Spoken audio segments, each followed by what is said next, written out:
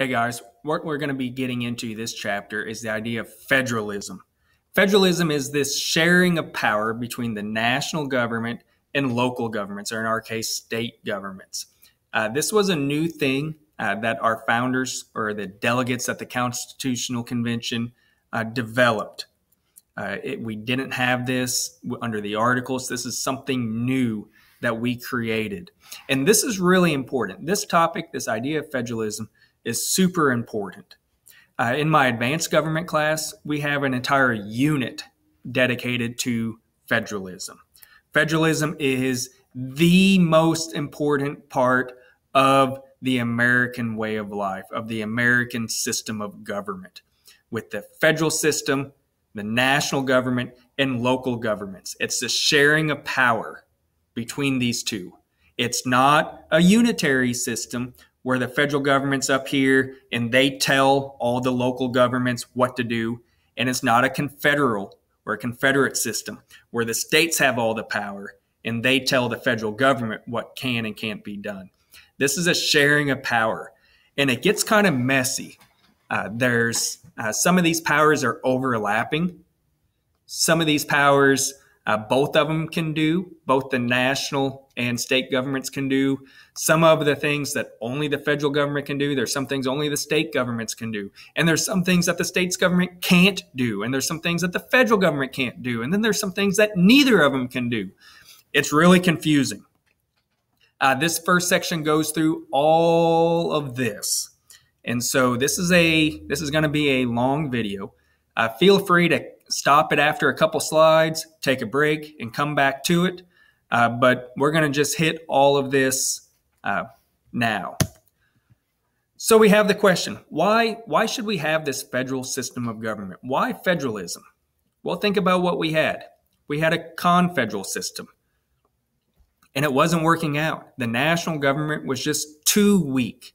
The states had all the power. Now, some people liked that. In fact, a lot of people liked having a weak central government. After all, we just got done fighting England, which had a super strong central government. So we said, no, we're not going to do that. Let's have a weak central government. Let's give the states all the power. Well, that just wasn't working out. The national government couldn't uh, raise money to fund an army. Uh, they weren't able to provide stability. Uh, they weren't able to have economic unity. And so that uh, the confederal system just didn't work. And then the idea of a unitary system, that was a non starter for the Constitutional Convention. They said, we're not even going there. We're not going to have that. And so we had to come up with this split the difference type of thing. If you remember, I talked about a pendulum swinging back and forth. And on one side, we have the a unitary system or super strong central government, and then we have a super weak central government. Well, a federal system is in the middle. It's a pendulum swinging right in the middle. However, people were really suspicious about the federal government having any sort of real power. So it's going to take some winning over. And you know it took some winning over uh, to get this Constitution ratified. we know with the uh, federal system of government. It's splitting powers.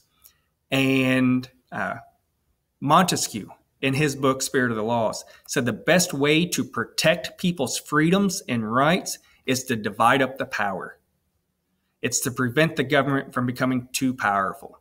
And so uh, we're going to split up powers between the national and state governments. Uh, national defense, currency, uh, let's see, relations with foreign countries. That's going to be the national government's uh, responsibility. And then everything else will be remaining with the states. Now, uh, I don't want you to get confused. This is not the idea of separation of powers and checks and balances. It's not the same thing. Separation of powers is uh, the three branches of government. This is not what we're talking about. This is not checks and balances either. This is uh, a different, this is the system of government with the national government and then states and the sharing of power between them. That's what we are talking about. Let's look at the powers of Congress and the powers of the federal government. And there's all sorts of powers that we're going to go through. Uh, we have expressed powers. These are also called delegated or enumerated powers. We have implied powers. We have concurrent powers. We have inherent powers, reserved powers, denied powers. Confusing, I know. So that's why I said let's take it slow. Uh, when it's too much, pause it or rewind it uh, and then start up again. But what we're going to look at first are uh, powers that we call expressed expressed because they are written down in the Constitution. Expressed, you say it, they're listed, they're out there. We can find this in Article 1, Section 8. And Article 1, Section 8 is literally a list. And I'm going to take you there in just a second. But it says, Congress shall have the power to do these things. And it's a list. And so we're going to take a look at this list. There's also expressed powers in Article 2 and 3. but let's take a look at these powers right now, these expressed powers that are specifically listed in the Constitution. So here we have the Constitution. If you want to pull up a copy of the Constitution, go ahead. We're in Article 1. We're at 2, 3, 4, 5, 6, 7, 8, right here. Let's even see if I can make this a little bigger. There we go. Congress shall have the power to and it's a list lay and collect taxes, to pay the debts, uh, to borrow money, to regulate commerce among the several states, to establish a uniform rule of naturalization. So, how do you become a U.S. citizen? To coin money, uh, to, uh, to punish counterfeiting, to establish post offices, to promote the progress of science. Uh, this is going to be copyrights and trademarks you know, if you invent something, you can uh, create a patent or get a patent. That's what we're talking about here. To constitute tribunals inferior to the Supreme Court. They put that in there because when we get to Article 3, which is the judicial branch, uh, they didn't know exactly how it was going to be set up. And so they put literally in this Article 3, they said, we're going to have a Supreme Court and then we're going to have other courts. That's what they said. And so in Article 1, Section 8, they said Congress has the power to set up smaller courts below the Supreme Court. This is a good one. To define and punish pirates, to declare war, to raise and support an army, to maintain a navy, to make rules for the land for the army and navy, to call forth to call up the militia, to provide organization for the militia. And then uh, we can come down. They exercise exclusive legislation with the District of Columbia. Then the last one, Article 1, Section 8, number 17, I believe, to make all laws which shall be necessary and proper for carrying into execution the foregoing powers. This is what we call the necessary and proper clause. Another name for this is the elastic clause. We're going to get to this in just a minute because this is going to end up being really important. So let's go back to expressed powers. So these are specifically listed in the Constitution, and I rattled them all off there. It's Article 1, Section 8 lists this is what Congress can do. Now, we have implied powers. Implied powers, they're not specifically listed, but they're a logical extension of expressed powers. Think about what the word implied means. Implied, you don't really say it, but people know what you mean. It's implied.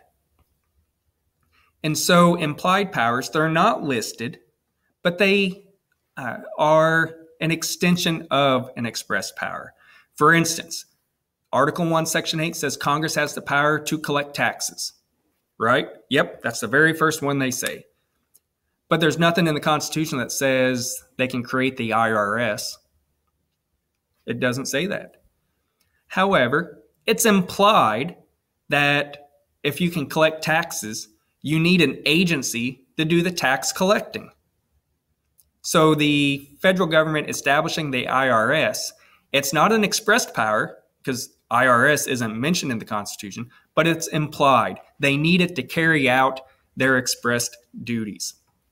Uh, building interstates. Nowhere in the Constitution does it say Congress has the power to build interstates. However, they do have the power to regulate interstate commerce. And if there's trade between the states, that's interstate commerce. So a logical extension would be roads or trains. They have the right to regulate uh, railroads. And so those are implied powers. They're not mentioned, but you need them. Where do we get the idea of implied powers? It's Article 1, Section 8, the very last one. To make all laws which shall be necessary and proper for carrying into execution their for, the foregoing powers. So this is a catch-all. They, the necessary and proper clause basically says if Congress needs to do something else to make sure that they do these above things, these things up here, they can do it as long as it's necessary and proper. If it's necessary for them to uh, do, then they can do it.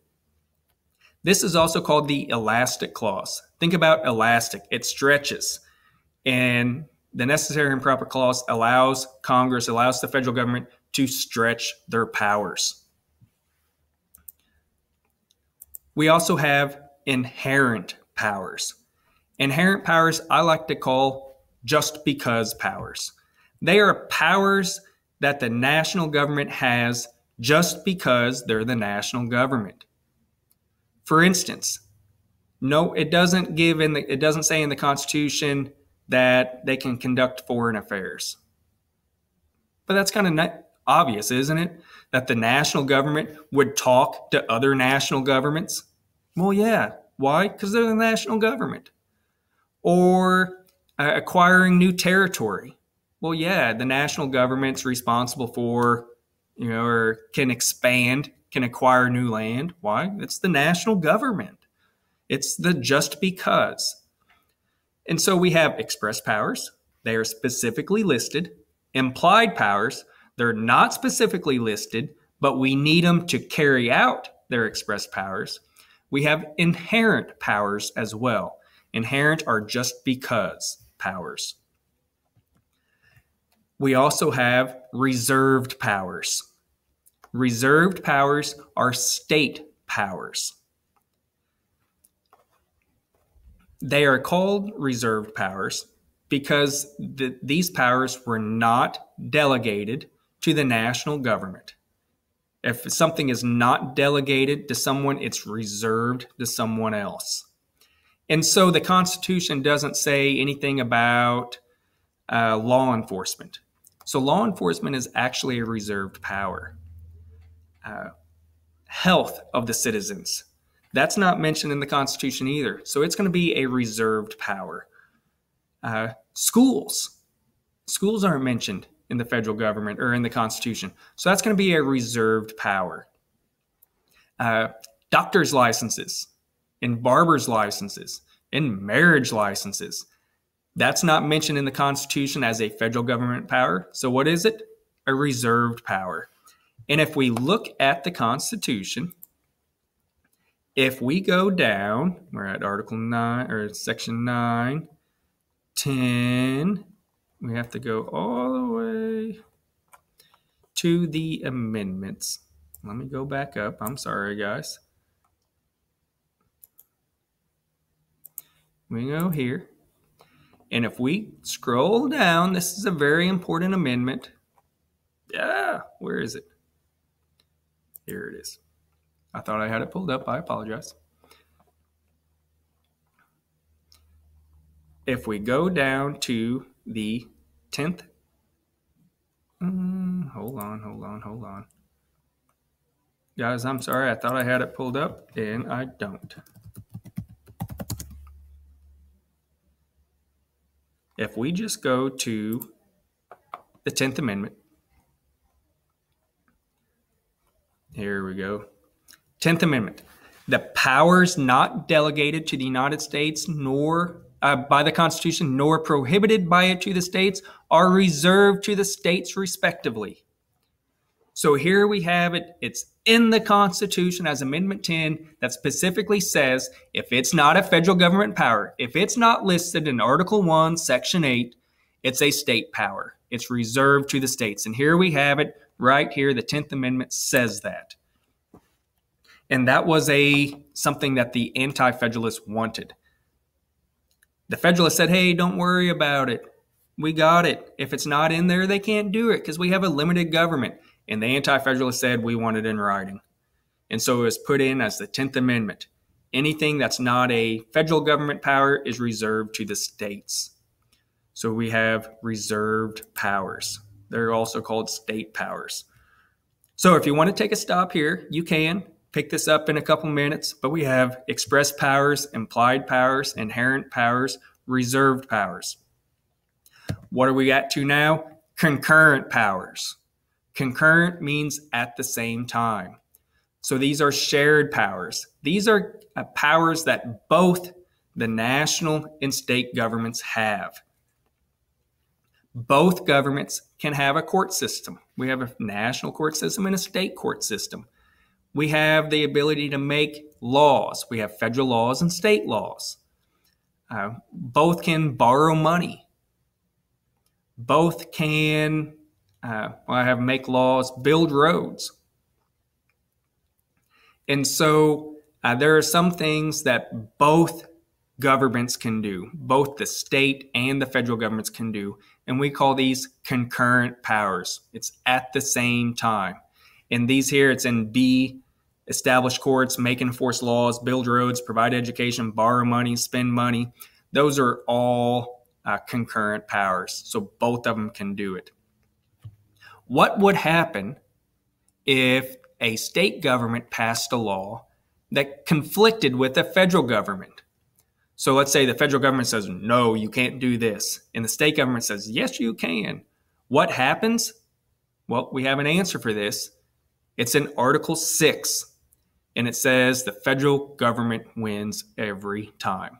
It's called the Supremacy Clause. So if we go back to the Constitution, go to Article 6, which is towards the very end, Article 7, Article 6. Right here, the second paragraph. This Constitution and the laws of the United States, which shall be made in pursuance thereof, dot, dot, dot, shall be the supreme law of the land. That means the federal law trumps state law. Anytime there's a conflict, federal government wins. Now, I know some of you are thinking, well, what about all this marijuana laws, states passing laws legalizing marijuana? You know, Illinois has passed it uh, for recreational use. Missouri, it's just for medicinal use. Isn't marijuana illegal? Well, we're this is still a gray area. We are still working this out. Uh, in the end, it will be worked out. But right now, it's just a gray area. It's still fairly new uh, to our government. And so the ideas of the state saying, yes, you can, and the federal government saying, no, weed is illegal, it's still playing out. But the Supremacy Clause says the federal government wins if there is a conflict with the states.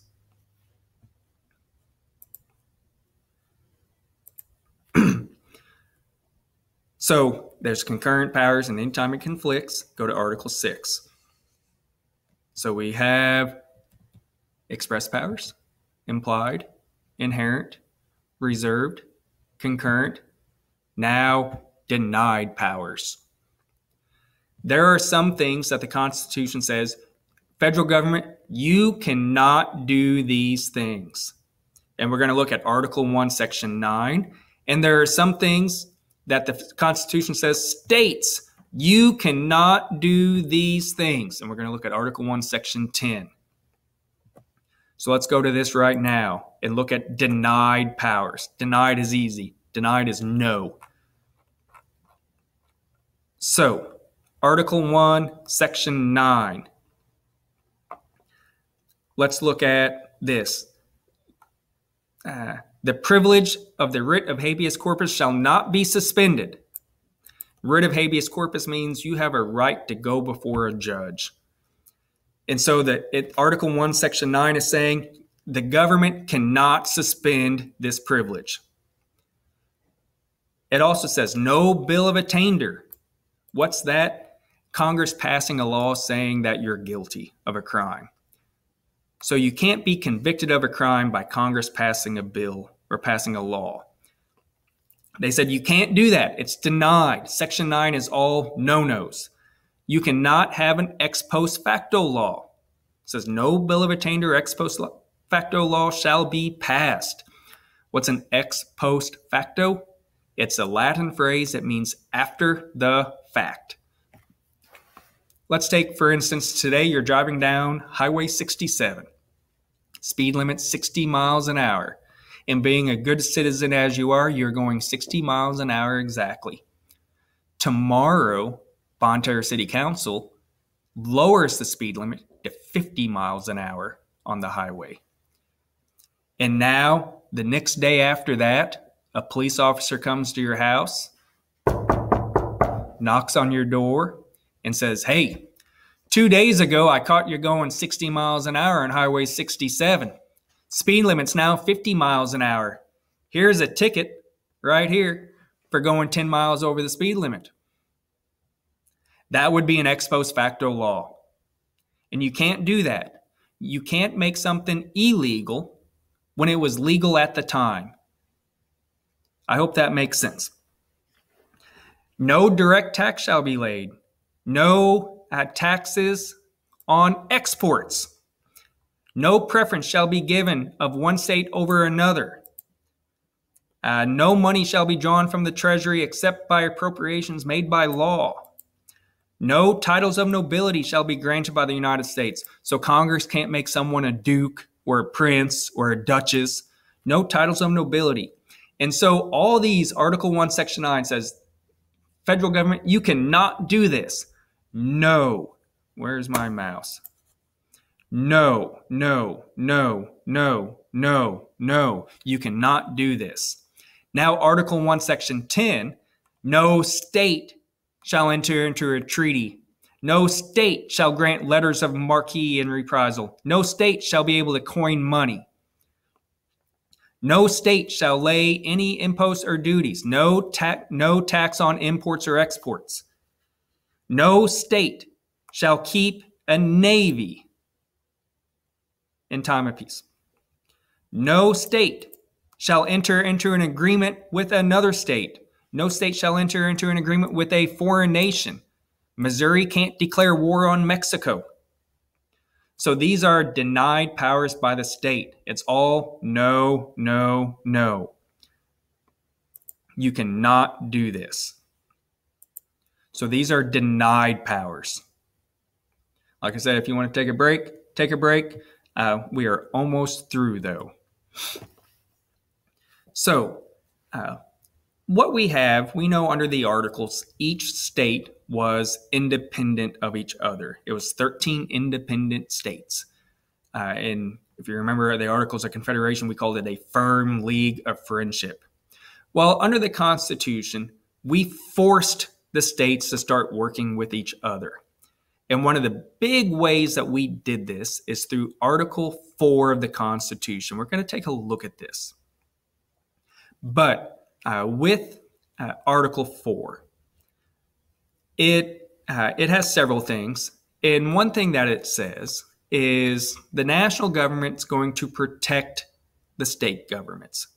So they said right off the bat, here's our commitment. Here's this idea of federalism. Even though the national government's supreme in its laws, the national government has some responsibilities. So the national government, and B, is going to protect us.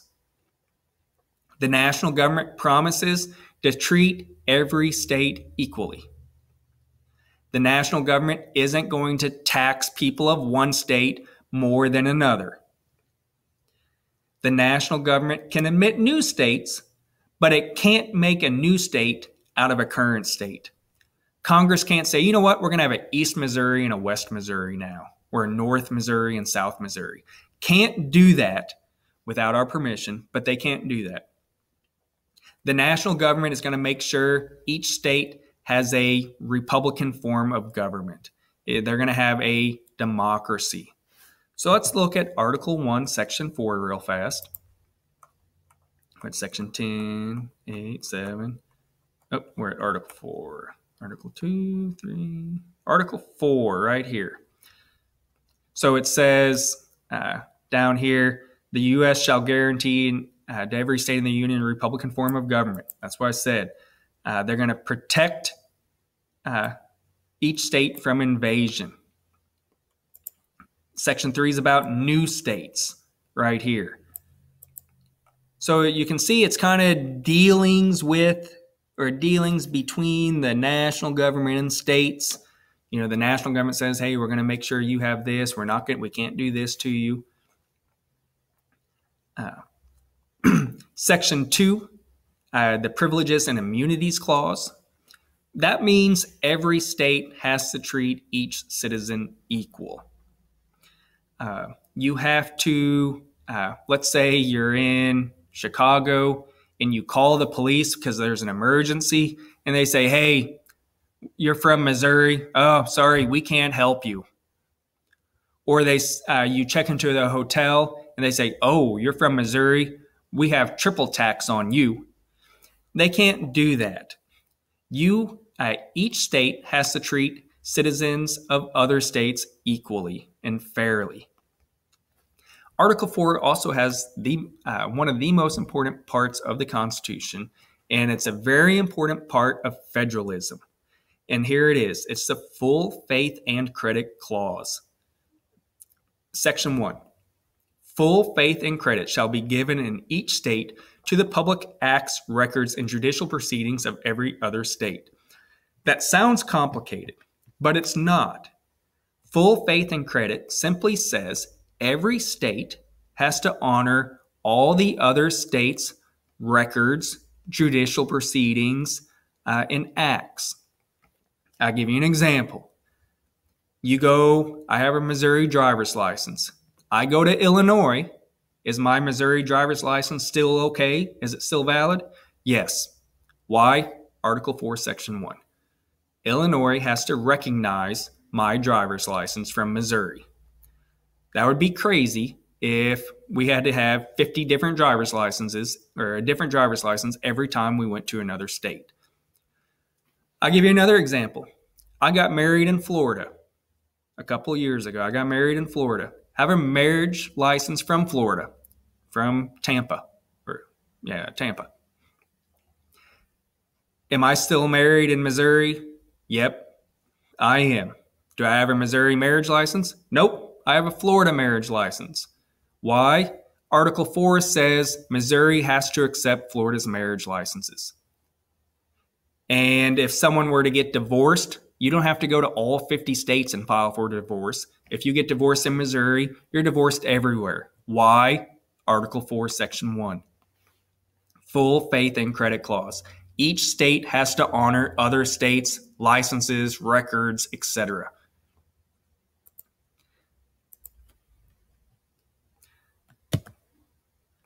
Uh, this is what I continue talking about the full faith and credit clause, uh, the privileges and immunities clause. Uh, that's in there. This is all Article 4. Hey guys, we made it through. Long section, I know. Uh, but lots of very important stuff. Uh, my advanced government class, like I said, we spent an entire unit on federalism. We spent like three weeks talking about this. It's really important. It's a, a bedrock foundation. We're used to it now. Of course, if I drive in Illinois, my Missouri driver's license is valid. Duh. And of course, if I get married in Florida, I'm still married in Missouri. Duh. But that's federalism there. That is. We know there are some things that only the federal government can do. We know there's some things that the states can do, and we know there's some things that both of them can do, and there's some things that neither of them can do. That's federalism, guys. We're going to pick up on section two in a few days. We have some homework assignments that deal with federalism and who has the power and whether it's an express power implied power and denied powers. We're going to hit that again with a few assignments. Um, we're actually going to watch another video, or we're going to watch a video on federalism. It's pretty good. Uh, If you have any questions, shoot me an email. Until next time, talk to you later.